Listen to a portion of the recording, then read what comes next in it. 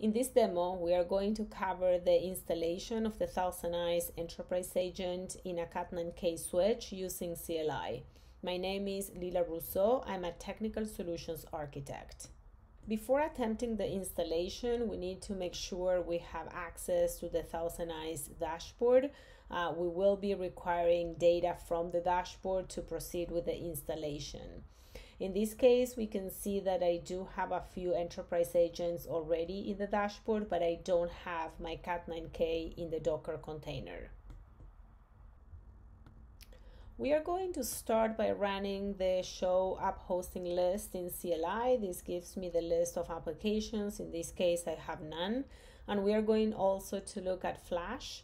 Um, one of the requirements is to download the tar file from the ThousandEyes dashboard and copied it in Flash. This step is something that I did before the demo. We can see that our agent, which is version 4.1, the tar file is already in Flash.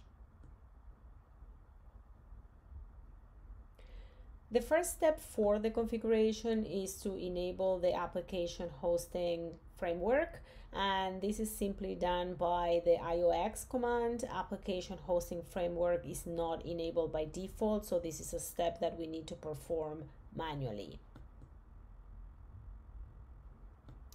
Now we run the command show IOX service. This is an optional step, but this allows us to make sure that all the services are running and the application hosting framework has successfully been enabled. Next step is to install the application. We are going to have to assign a name for the application. In this case, I use thousand eyes underscore enterprise underscore agent. We will be referring to the name, to this particular name in other commands. So this is something that we need to note. And we are going to use the package that we already have in Flash. Once we run this command, we are ready to run another command, the show app hosting list, like we ran before. And we are now seeing a different state. We see that this application has been deployed. Next step is to provide the networking configuration of the environment. We need to use an IP address for the Docker environment that is within a layer 2 VLAN that is already configured in the switch. So in my switch, I do have an existing VLAN 419. I have ports associated with that VLAN, so the VLAN is really active and it has active ports. And I do have my SVI configuration. So this is what I'm showing here. I'm having a VLAN 419 configuration with an IP address and a mask and my environment, my Docker environment is going to use an IP address within this VLAN. For that, we need to configure the interface that we are using for the Docker environment, which is the app Gigabit Ethernet 101.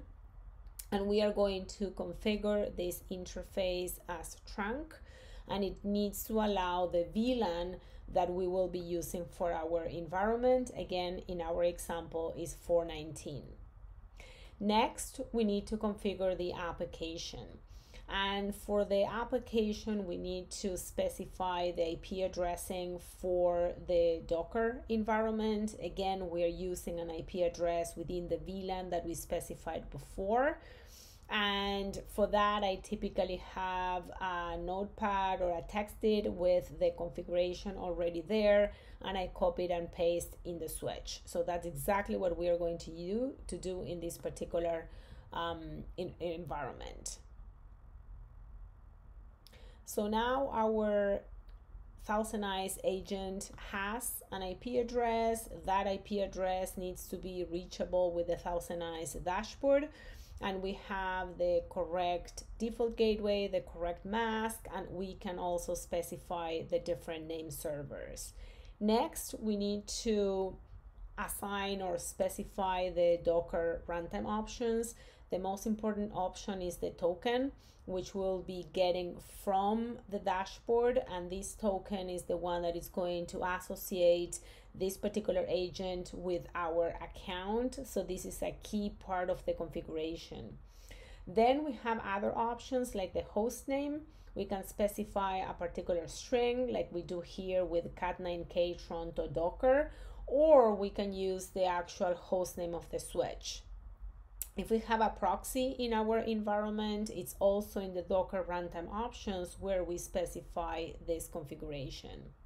So I'm also going to use the pre-configured um, Docker runtime options that we see in my TextEdit file. However, the token hasn't been populated yet. We are going to populate it live in this demo.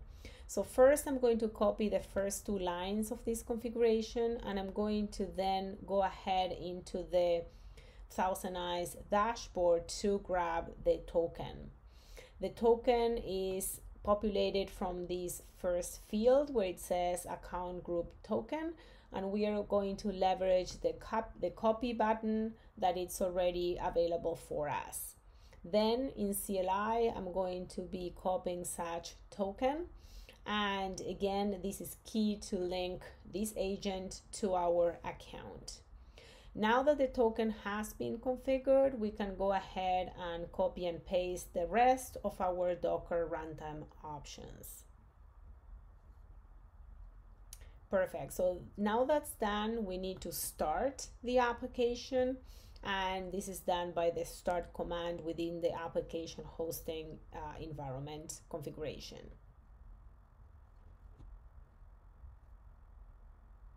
We are going to run the show application hosting list command one more time and we can see that once again the um, state change from deploy to running and we can also see at the bottom that the agent has been registered. Another very useful command is the show app hosting detail and this is one of the commands that we are going to use the name that we assign to the applications. Again in our example thousand eyes underscore enterprise underscore agent. And we get a lot of details for our application including the configuration including different resources that uh, the application is using including version and other configs as well